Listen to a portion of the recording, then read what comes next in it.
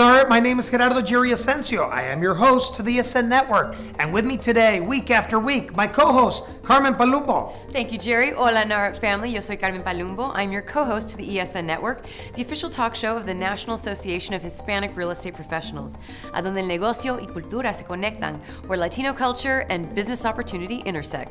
My NARA family, I want to let our viewers know that we will not have any ESN the next two Mondays in observance of the holidays. So on today's show, we have Big Daddy Juan Martinez back in the studio by popular demand. That's right. Our followers on Twitter requested Juan back. Now make sure that you're balancing work and family. And now let's get started.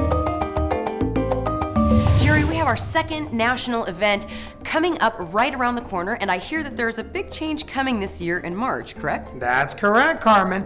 Just like we prepare our members to plan for 2013, well, NAHREP also has to be planning our policy and Hispanic lending conference in DC. Okay, well, what does that mean exactly? Well, there are many important aspects about the homeownership experience for Hispanics, but at the core of every single transaction, most of them out there, is of course the lending. Hispanic families don't achieve homeownership until the loan funds. So, with that in mind, Carmen, this year's policy conference in DC will have a special focus on Hispanic lending. What's happening in regards to the challenges, the policy changes, and the opportunities around Hispanic lending. So, there's no doubt in my mind that NAHREP is always on the cutting edge of the Latino homeownership market. How do you survive this market with changing policies? What can a selling agent do? How do you, how do you I'm Armando for Hablando Business and backed by popular demand, Juan Martinez. Yes, we do listen to your Twitter request. Juan Martinez is our president-elect, but also the number one Latino agent in the country. Thanks for coming in, bro. Thank you, Armando. So Juan Martinez closed 584 transactions last year. Of those, 250 plus were buyer side sales. How did you do it? Is it team oriented? The agent mindset? That's what our agents are probably going to want to hear. So we're looking for agents that are hungry. I mean, it's important when you have a team. There's a lot of accountability. I mean, our agents have to. My, my buyers' agents have to show up at 8:30 in the morning for a meeting every morning.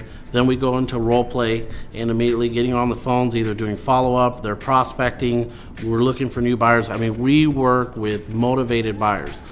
Now, most of the agents out there, our members are telling us, you know, the lack of inventory. They have buyers, they're getting frustrated. How do you overcome that when you have a motivated buyer? What do you tell your agents? So one, we plow we plow right through it. You know, a lot of it is mindset. Mm-hmm. One, if you're if you are doing your buyer presentations when you originally meet with a buyer, you're setting the expectations. If the buyer is motivated and ready to purchase, they are going to perform the way a good, strong buyer should, meaning submitting above list price, so on and so forth. The majority of our buyers, 90% of our buyers we work with, are first time home buyers, second time home buyers. Uh, usually, we're not working with investors.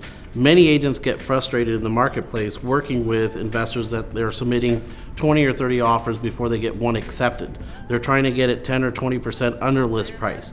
So we're we're vo- very motivated to work with motivated buyers ready to buy now who want to take advantage of the rates, want to take advantage of the price. And that's where you actually are setting the expectation on that first meeting, correct? Absolutely. I remember we hung out a couple uh, months back and you had told me about calling these short sales that have been pending over 150 days. Last month, I think we put four or five in contract just off that. Could you talk a little bit about that? What's the, los consejos, what, what makes you say that? So it's important in a, in a market where there's a lack of inventory. We know there's a lack of inventory across the country. So one of the one of the things that you do is you look at different how do how am I going to find inventory in the marketplace? Uh, where am I going to cultivate that? One thing is building strong relationships with listing agents, you know, across the market. Number two, the idea that I've given you is in our market there's only eight or nine hundred short sales available listed. Uh, but there's over 10,000 short sales that are under contract in our marketplace. A lot of them have been in pending status for over 6, 10, 12 months. In many cases, those buyers have already are long gone. They already purchased somewhere else. Those listing agents don't know that. So as if I have a buyer that's motivated and I find a property that's been in you know in pending status for over 6 months, I'm going to connect with that listing agent and say, hey, I have a buyer. We could close this in 30 days. Are you already approved with the lender? Can we move forward? In many cases, their buyer, when that listing agent goes back to their original buyer, that buyer's long gone. and let's finish it off. Great advice because it's helped, it's worked, it's tangible. We want to get to our viewers. But for you to close that many, you mentioned that they know an offer from you is solid. For our lending members out there, the originators, what do you look for and your agents look for when trying to find a lender to work with? Look, when we work with lenders, they have to perform, period. They got to close the deal when they say they're going to close it. If our close of escrow is 45 days or it's 30 days, and we're submitting that offer, we're going to make sure that the originator says we can close the deal. Another thing is the communication between the originator and the customer. You know, the customer has to, of course, the customer has to perform for the originator. In many cases, blame is thrown everywhere and the deal doesn't close. How do you measure their customer service? Jerry previously had mentioned that he appreciates when the lender shows up to the signing table. How do you measure the customer service? I, I would say follow eh, up. Follow up is the most important thing. To the consumer or the lending experience to, or the both realtor? to the agent, to the consumer, and, and letting all parties know this is where we're at, letting the listing agent know. See, in order, we have to create a reputation that we close deals in the marketplace, and when an offer is submitted by this company, by this agent, we know the deal is going to close. And if you don't have that reputation, then there's a good chance that you're not going to get your offers accepted having the best lenders, having multicultural uh, originators, you know, having, uh, you know, our loan officers in many cases speak Spanish, they connect with the customer. We Right. deal in a multicultural market, and that is so important that we have that connection. 584 transactions, 50% of those were buyer sides. Eso no se puede discutir. You cannot argue that. Juan, thank you once again for showing up, Thank you, Armando. and we'll see you next time on Hablando Business. Monday's ESNs. They're informative, they're inspirational, they're educational. And now for el tip de la despedida. Wait, wait, wait, wait, Jerry. First of all, I want to say to my Nara familia, I'm going to give you a nice holiday song here. This is Jose Feliciano, and then you can continue. Thank you. And having said that, el tip de la despedida is to actually be grateful. Be grateful for your blessings, for your family, for your local chapters, for your associates, for everything that's around you. On behalf of NAHREP National, however, it's also a time for us to do a big shout out to all the people that make NAHREP possible. Thank you for being part and being partners at NAHREP.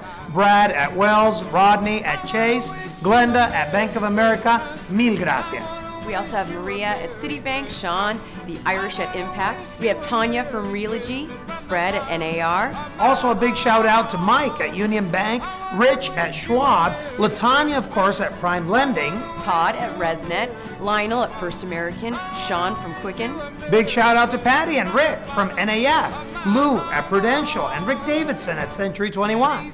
I want to wish you all a great week and remind you that we will be back after the holidays. There will be no ESN on the 24th and the 31st of December. And again, on behalf of the ESN family, we wish you a very happy holidays. Mwah. Bye, guys. Feliz Navidad, Feliz Navidad, próspero año y felicidad.